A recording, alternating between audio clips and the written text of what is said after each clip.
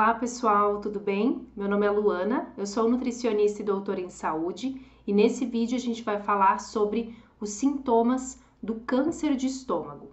Se esse assunto te interessa, já deixa o seu like nesse vídeo, se inscreve aqui no meu canal e ativa as notificações para que sempre quando eu for postar alguma coisa aqui você vai ser avisado pelo YouTube.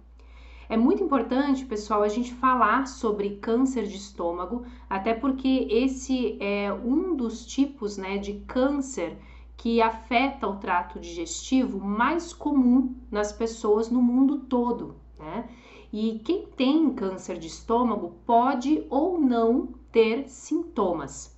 É claro que aquelas pessoas que estão já numa fase mais avançada do câncer de estômago, elas terão sintomas, né? E esses sintomas, os mais comuns, são desconforto abdominal, principalmente ali acima da região do umbigo, né? Associado a uma dor no abdômen, uma sensação de plenitude, que é quando a pessoa ela se sente muito saciada, mesmo após é, ter terminado uma refeição leve, né? Logo após ter terminado uma refeição leve.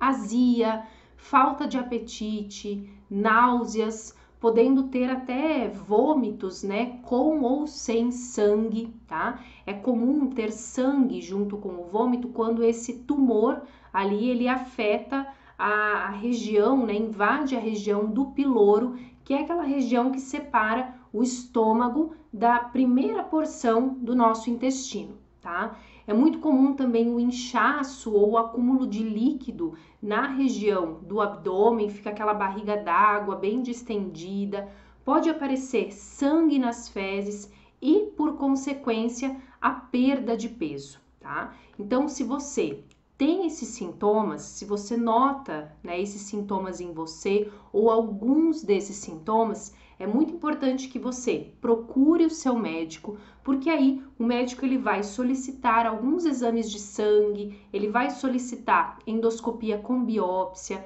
para confirmar esse diagnóstico de câncer de estômago, tá?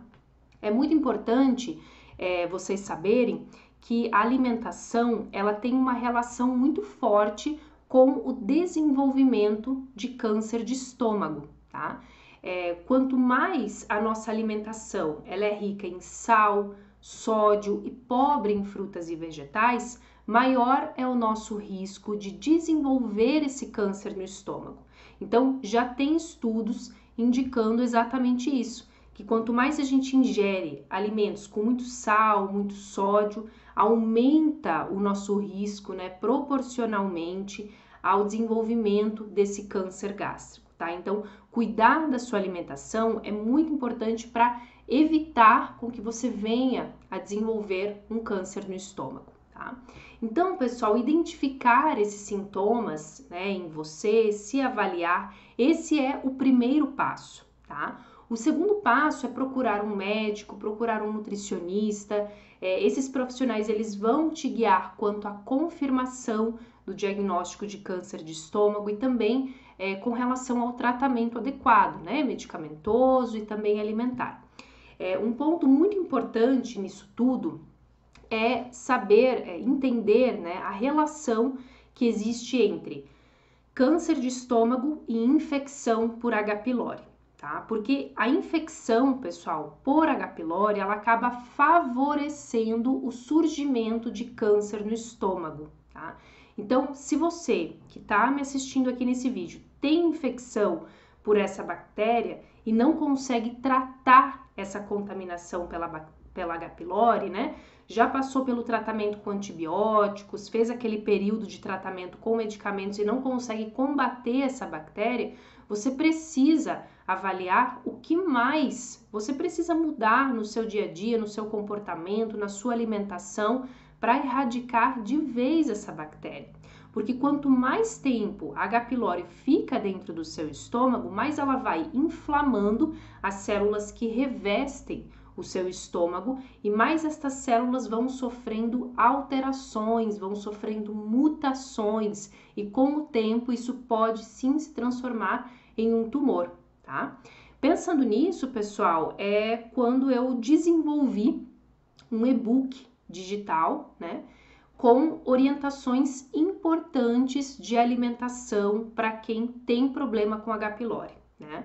Eu tenho um e-book onde você encontra cardápios digitais prontos para você seguir na sua semana com tudo que você pode comer no seu café da manhã, no seu almoço, no seu jantar, nos seus lanches, né? Alimentos que são permitidos para você que tem infecção por H. pylori e que quer vencer essa bactéria. Dentro desse e-book você vai encontrar também alimentos permitidos, né, que ajudam a combater a bactéria H. pylori e quais são os alimentos que você deve evitar, que você deve consumir com muita cautela, tá? Porque eles acabam aumentando a força dessa bactéria dentro do seu estômago.